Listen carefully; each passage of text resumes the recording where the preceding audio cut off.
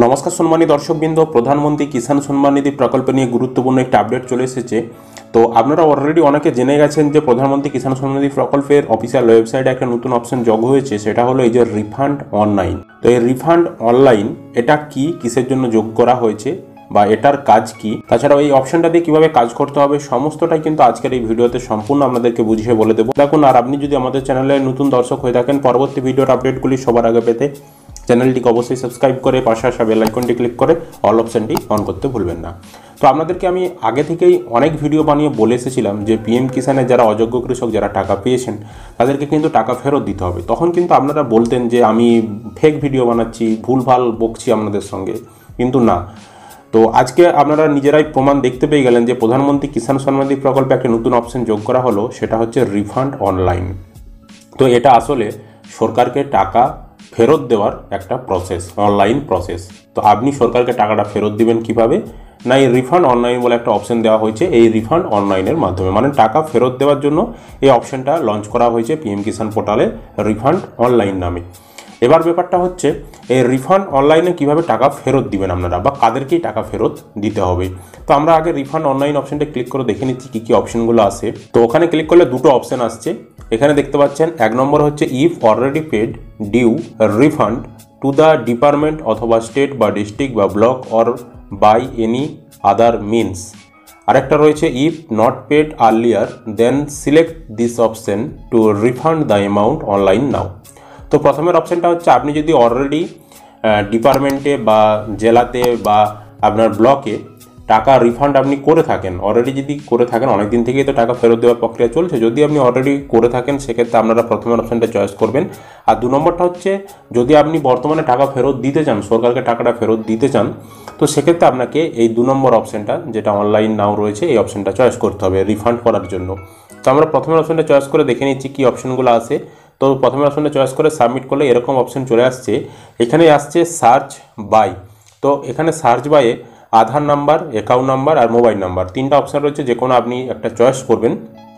তারপর এখানে enter value তো এন্টার ভ্যালুতে এখানে আপনি যদি এখানে আধার নাম্বার চয়েস করেন, আধার মোবাইল চয়েস করলে মোবাইল অ্যাকাউন্ট চয়েস করলে এখানে সেই অ্যাকাউন্ট নাম্বারটা বসাতে হবে। আর এই ক্যাপচা কোডটাকে এখানে আপনাকে বসাতে হবে। দিয়ে গেট ডাটা অপশান আপনাকে ক্লিক করতে হবে। তাহলে কিন্তু যদি আপনি টাকা ফেরত দিয়ে থাকেন, এখানে কিন্তু আপনার সমস্ত ডিটেলস চলে আসবে। আর যদি আপনি টাকা ফেরত দিয়ে না থাকেন, সেক্ষেত্রে কিন্তু আপনার এখানে যতই আপনি ডিটেলস দিন না কেন গেট ডাটা অপশন করলে এখানে কিন্তু সামথিং উইথ রং মানে পরের পেজটা কিন্তু আপনার খুলবে না। তাই যারা টাকা দিয়েছে, কেবলমাত্র তারাই কিন্তু এই পেজটা খুলতে পারবে, বাকিরা কিন্তু পারবে না। এবার এই দু নম্বর অপশানটা যেটা অনলাইনে টাকা পেমেন্ট করার জন্য রিফান্ড করার জন্য অপশানটা এখানে চয়েস করলে কিন্তু সাবমিট বটনটা আর কাজ করছে না।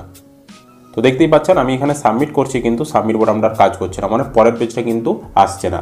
এর কারণ হলো এটা যেহেতু এই কালকেই লঞ্চ করা হয়েছে, তো এখনও কিন্তু সম্পূর্ণভাবে এই ওয়েবসাইটটা ঠিকঠাকভাবে কাজ করছে না। এই যেহেতু লঞ্চ করা হয়েছে। পরবর্তী সময়ে হয়তো অপশান আসবে, কাজ করবে, তখন আপনাদেরকে আবার আমি ভিডিও দিয়ে জানিয়ে দেবো কীভাবে অনলাইনে টাকাটা রিফান্ড করবে। তা এখন কিন্তু কাজ করছে না। এবার আমাদেরকে বলে দিচ্ছি, কোন কোন কৃষকদেরকে টাকা ফেরত দিতে হবে।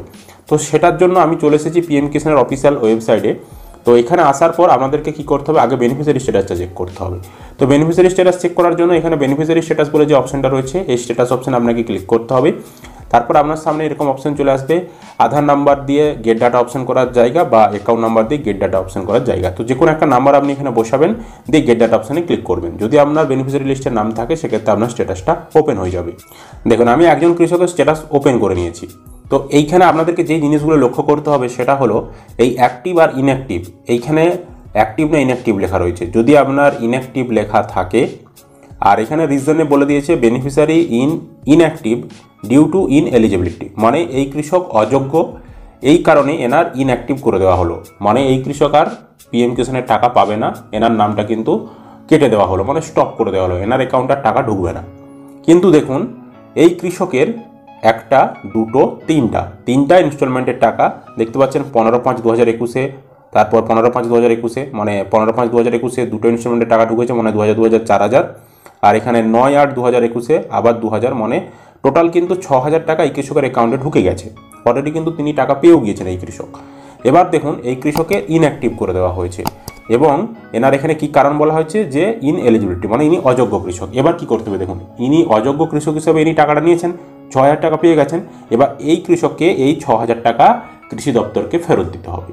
এবার ইনি কৃষি দপ্তরে গিয়েও জমা দিতে পারে টাকাটা, ফেরত দিতে পারে। তাছাড়াও অনলাইনে যে অপশনগুলো দিয়েছে, অনলাইনেও কিন্তু টাকাটা ফেরত দিতে পারে।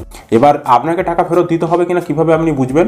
তো এইখানটা দেখলেই আপনি বুঝতে পেরে যাবেন যে ইনঅ্যাক্টিভ রয়েছে কিনা। যদি আপনার এখানে ইনঅ্যাক্টিভ থাকে এবং এই ইনস্টলমেন্টের ঘরগুলো যদি দেখা যায় যে আপনি একটা, দুটো, তিনটা বা চারটা ইনস্টলমেন্টের টাকা অলরেডি পেয়ে গিয়েছেন, সেক্ষেত্রে যতগুলো ইনস্টলমেন্টের টাকা আপনি পেয়েছেন, ততগুলো ইনস্টলমেন্টের টাকা কিন্তু আপনাকে ফেরত দিতে হবে।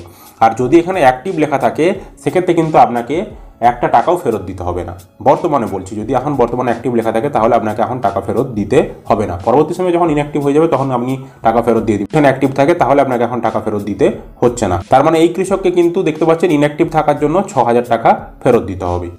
তো পরবর্তী সময়ে এই নিয়ে আরও ভিডিও আনব আপনাদের জন্য, কীভাবে টাকা ফেরত দিবেন, তাছাড়াও কোন কৃষকদেরকে টাকা ফেরত দিতে হবে।